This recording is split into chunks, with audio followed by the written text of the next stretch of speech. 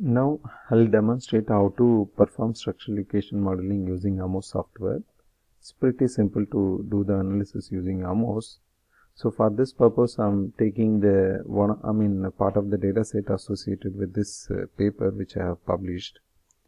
So in this paper I have a model uh, something similar to this. So uh, for this demonstration I'll be taking job satisfaction, family satisfaction, work family balance and life satisfaction construct. I mean I'm going to take four constructs.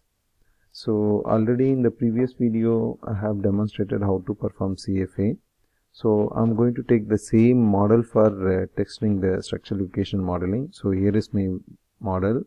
So uh, for connect, connecting the data with AMOS, you can uh, click this menu and then you can look for the data where you have uh, mentioned. I mean where you have kept your data. Just uh, locate the data there are about 294 cases are available. After connecting the data yeah. Now what you can do is uh,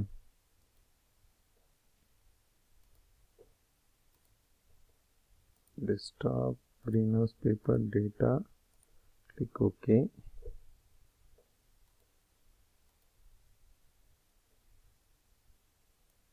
I can remove the covariances by taking this symbol erase object symbol.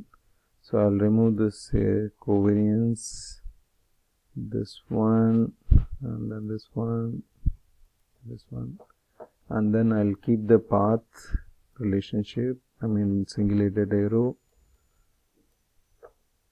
And then I need to put the residual terms for my endogenous construct.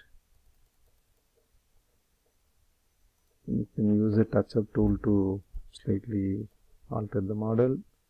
And then uh, I need to name my residuals. I'm naming this uh, R1 and then R2 in the uh, output I need a yeah standardized estimate squared multiple. I don't need normality and outliers. I can use modification indices and then estimation yeah. So got the output yeah. So all the path relationships were significant because everything is like all the t values are greater than uh, 1.96 and above. The CR is nothing but uh, t value in uh, AMOS software. I'll check the model fit I have some issue with the model fit because GFA is 0.87, C minimum is also very high and then RMSE is uh, 0.104, this is not good. So let me check the modification indices. So in the modification indices, uh, I'm getting suggestions, a couple of suggestions I'm getting. Here family satisfaction 2 R2 yeah if I keep a path between family satisfaction and the life satisfaction the model fit may go up. And then similarly between R1 and R2 error correlation no need to do this. Job satisfaction to R2 this also I can keep. Now let me check the model fit. After running the analysis yeah now this is, seems to be good yeah now 2.048 the same results which I have obtained from the CFA so I'm getting the similar results here. Now yeah all the path coefficients are significant. So all the relationships were significant here.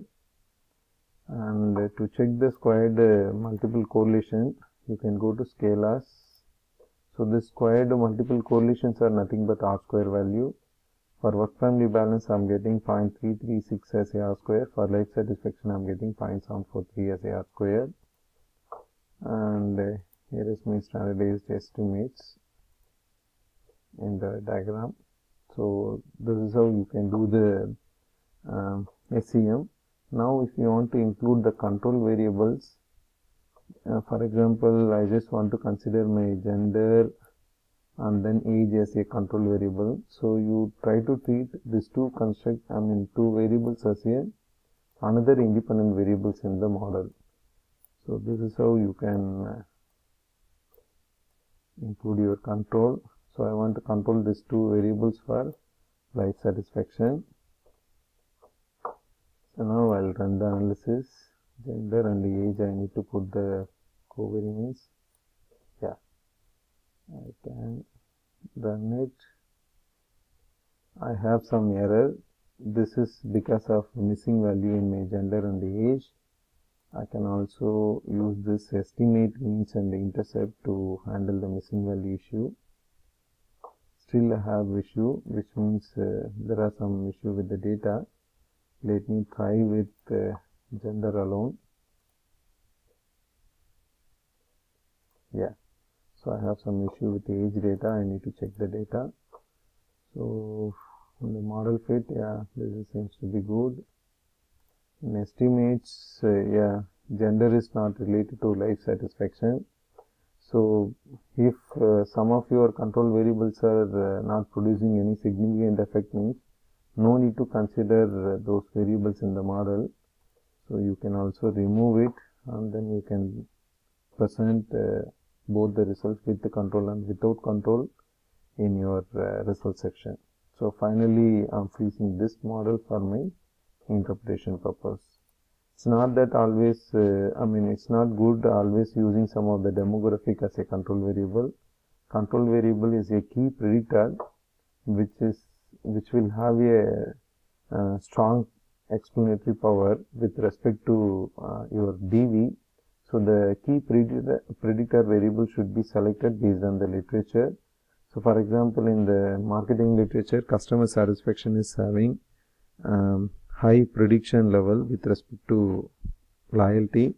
So if I want to check the relationship between service quality and loyalty, I can consider customer satisfaction as a control variable.